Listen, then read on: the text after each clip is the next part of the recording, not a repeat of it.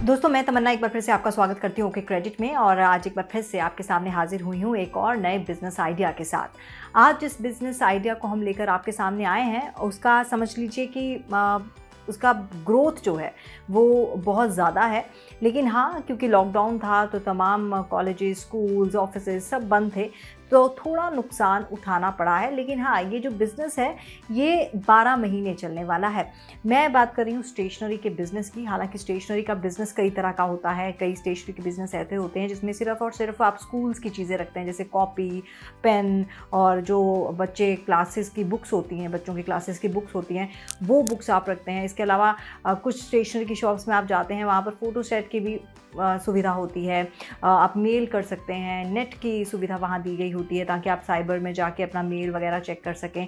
इसके अलावा कुछ शॉप्स में आप जाते होंगे जहाँ पर और कई तरह की सुविधाएँ होती हैं। यानी कि ये स्टेशनरी का बिज़नेस जो है वो एक तरह का नहीं है अलग अलग तरह का है और आपको डिसाइड करना है कि आप कितना पैसा इन्वेस्ट करके कौन सा बिज़नेस चला सकते हैं और आगे बढ़ा सकते हैं। और बाकी जितने भी परामर्श हैं उसके लिए हम आपके साथ हैं। तो आज हम यही बात करेंगे और, और सब पहलुओं को समझने की कोशिश करेंगे कि आखिरकार स्टेशनरी का बिज़नेस कैसे शुरू किया जा सकता है और क्या लाइसेंस की ज़रूरत है या नहीं है किस लाइसेंस को किस तरह से आप ले सकते हैं किस तरह से कौन सा स्टेशनरी की शॉप आपके लिए सही रहेगी और किस लेवल से आप ये बिज़नेस शुरू कर सकते हैं। तमाम चीज़ें जानने के लिए हमारे साथ बने रहिएगा सब्सक्राइब कीजिएगा हमारा चैनल और वीडियो को अंत तक देखिएगा और समझने की कोशिश कीजिएगा कि किस तरह से आप एक स्टार्टअप दे सकते हैं इस बिज़नेस को। वीडियो पसंद आए तो लाइक कीजिएगा और साथ ही साथ हमें बताइएगा कमेंट सेक्शन में लिख के कि आपको ये वीडियो कैसा लगा और बेल आइकॉन का बटन ज़रूर दबाइएगा। ऐसे देखा जाए तो स्टेशनरी की दुकान खोलना आसान प्रक्रिया है। लेकिन यदि कोई कंपनी उद्यमी से अपने ऑफ़िस के लिए स्टेशनरी आइटम्स खरीदना चाहती है तो ऐसे में आपको अपनी दुकान का टैक्स रजिस्ट्रेशन करवाना पड़ेगा।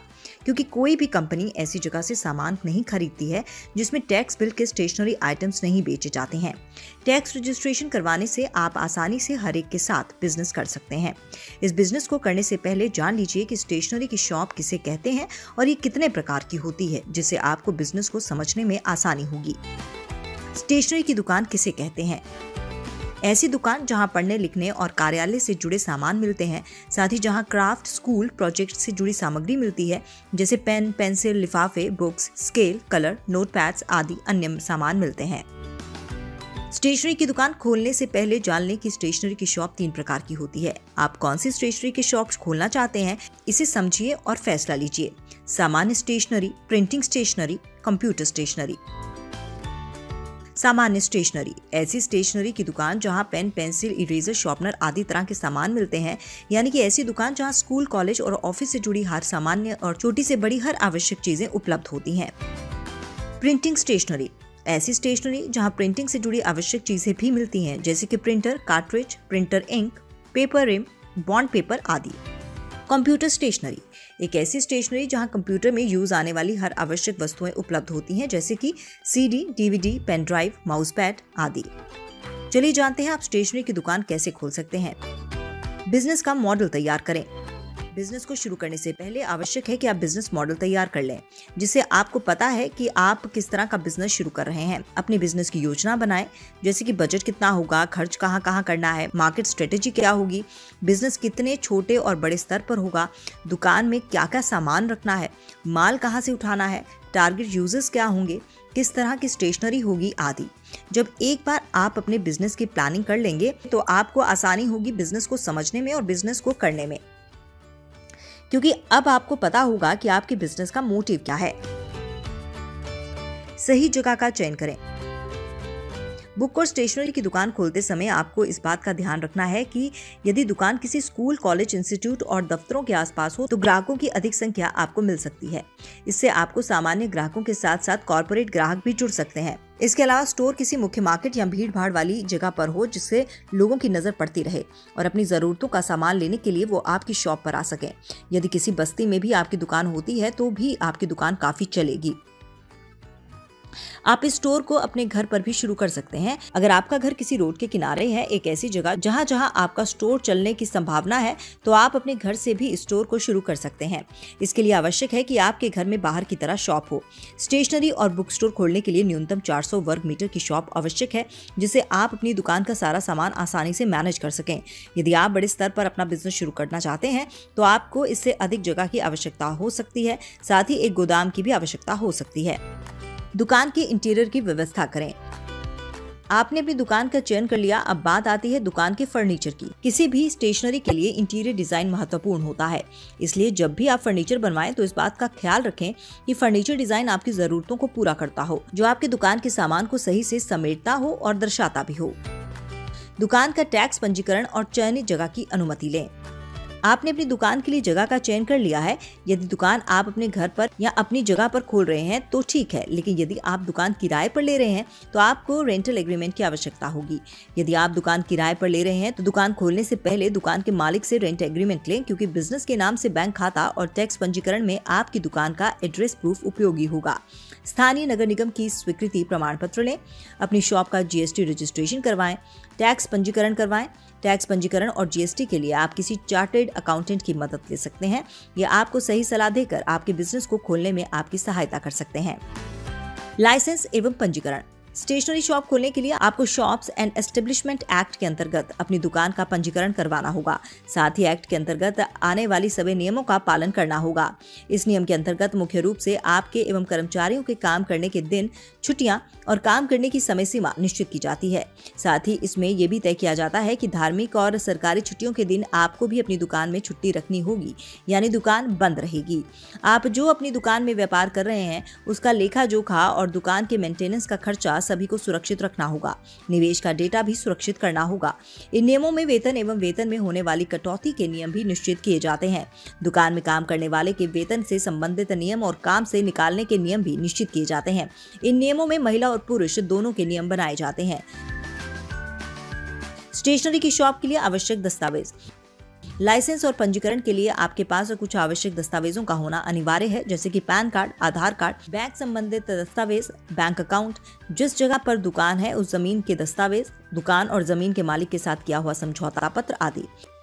स्टेशनरी शॉप पर रखें हर सामान। स्टेशनरी शॉप में विशेष रूप से पेन, किताबें, नोटबुक्स, स्टेपलर कैलकुलेटर, पेंसिल एवं पढ़ाई में उपयोगी सामग्री को ही बेचा जाता है। लेकिन आप स्टेशनरी दुकान रखने वाले लोग ग्रीटिंग कार्ड, शादी के कार्ड एवं गिफ्ट कार्ड्स भी रख सकते हैं। सीधे शब्दों में कहा जाए तो स्टेशनरी शॉप में आप लोगों के उपयोग की छोटी छोटी चीज़ें रख सकते हैं, जिससे लोगों को आपकी शॉप पर बार बार आने का मौका मिले। वो जब भी आपकी शॉप पर आए तो खाली हाथ ना जाए। कहाँ से उठाएँ माल? स्टेशनरी में बेचे जाने वाला सामान आप ऑनलाइन और ऑफलाइन दोनों जगह से खरीद सकते हैं। यदि आप होलसेल में खरीदारी करना चाहते हैं तो आपको अधिक लाभ होगा। आप चाहें तो किसी कंपनी से सीधे तौर पर पेन, पेंसिल और कॉपियाँ खरीद सकते हैं। यदि आप सीधे किसी कंपनी से संपर्क करते हैं तो आपको सस्ते में सामान मिल जाएगा। इसके अलावा आप किसी सप्लायर से भी संपर्क कर सकते हैं। जी हाँ जगह जगह सप्लायर की एक चेन होती है जो हर एरिया में मिल जाते हैं। आपको अपने इलाके के सप्लायर को ढूंढना होगा जो सीधे आपकी शॉप पर आकर माल दे सकें और वो भी सही दाम में। निवेश कितना होगा? स्टेशनरी की शॉप खोलने के लिए कम से कम पचास हज़ार रुपए तक की लागत आएगी और यदि आप बड़े स्तर पर बिज़नेस शुरू करना चाहते हैं तो आपको दस लाख रुपए तक का बजट बनाकर रखना होगा। कितना मुनाफा होगा? ब्रांडेड वस्तुओं को बेचने में 20 से 25 प्रतिशत का मुनाफा होता है। अधिकतर कंपनियाँ अपने प्रोडक्ट्स में प्राइस का लेबल लगाकर मार्केट में उतारती हैं, जिसकी वजह से दुकानदार अपनी मर्ज़ी से पैसा नहीं बता सकता है। जो प्रोडक्ट्स में लिखा है, उसी के हिसाब से माल बेचना होगा, क्योंकि दुकानदारों का मार्जिन पहले से प्रोडक्ट्स के साथ ही आता है।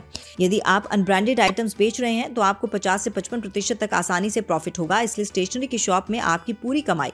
इस बात पर निर्भर करती है कि आप किस तरह का सामान बेच रहे हैं। मान के चलिए, यदि आप कोई सौ रुपये वाला प्रोडक्ट 140 या 150 रुपए में बेचते हैं तो आप आसानी से 40 से 50 रुपए हर आइटम में खरीद सकते हैं। बिक्री बढ़ाने के लिए मार्केटिंग करें। पैम्फलेट्स मार्केटिंग करने के लिए आप पैम्फलेट छपवाएँ। हफ़्ते में या महीने में अपने गाँव, शहर, कस्बे के न्यूज़पेपर घरों में डालने वालों के साथ डील करके आप न्यूज़पेपर की कॉपी के साथ पैम्फलेट्स डलवा सकते हैं। बैनर किसी स्कूल कॉलेज और दफ्तरों को बाहर या उसके आसपास अपनी शॉप का बैनर लगवाएँ। ध्यान दें कि यदि आप मार्केटिंग कर रहे हैं पैम्फलेट्स या बैनर के माध्यम से तो कुछ ऑफर्स भी रखें जिससे ग्राहक आकर्षित हों। अपनी शॉप से बिकने वाले आइटम्स में अपनी दुकान की पहचान लगाएँ, जैसे कॉपी के कवर पर अपनी शॉप का नाम लिखवाएँ, आदि। अपनी दुकान पर डिस्काउंट जैसा ऑफ़र दें। आप चाहें तो अपनी शॉप को ऑनलाइन भी ले जा सकते हैं, जहाँ से लोग आपकी शॉप से ऑर्डर कर सकें। दुकान का मैनेजमेंट कैसे करें? दुकान में कितने घंटे किस दिन काम करना है? इसके लिए एक शीट बनाएँ और प्रतिदिन आप इसमें डिटेल्स भरें, जैसे कि आज इतने बजे इतना काम करना है। हर दिन कौन सा सामान सबसे अधिक बिका और कौन सा सबसे कम? इसका लेखा जोखा तैयार करें। इससे आपको अंदाज़ा होगा कि मार्केट में किस चीज़ की अधिक डिमांड है।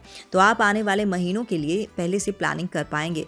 हर दिन कितने घंटे दुकान खोलने से कितना सामान बिका और हर दिन कितनी कमाई हुई, उस कमाई में कितनी बचत हुई, इसका लेखा जोखा तैयार करें, जिससे आपको अपने दुकान के बारे में प्रतिदिन हिसाब किताब करने में आसानी होगी। हर सामान का एक मूल्य निर्धारित करें। जैसे ब्रांडेड सामान का मूल्य तो पहले से निर्धारित होता है, ठीक उसी तरह से अनब्रांडेड सामान का भी मूल्य पहले से तैयार रखें। यदि आप अनब्रांडेड सामान को दो से तीन गुना मूल्य में बेचते हैं तो यही आपकी कमाई का ज़रिया होगा। अपने ग्राहकों से पेमेंट करवाने के साधन तैयार करने होंगे, जैसे कि गूगल पे फ़ोन पे भीम पेटीएम आदि। ऑनलाइन पेमेंट की सहूलियत तैयार करनी होगी, जिससे कैश के अलावा भी लोग आपके यहाँ से खरीदारी कर सकें। यदि आपके पास दो तीन या इससे ज़्यादा का स्टाफ है तो आप उनको मैनेज करने के लिए ओके स्टाफ ऐप का इस्तेमाल कर सकते हैं। इस ऐप के माध्यम से आप अपने स्टाफ में मौजूद प्रत्येक सदस्य के काम को, उनकी छुट्टियों को, उनकी सैलरी को और उन्होंने किस दिन काम किया है और किस दिन काम नहीं किया, इन सब चीज़ों को आसानी से ट्रैक कर सकते हैं।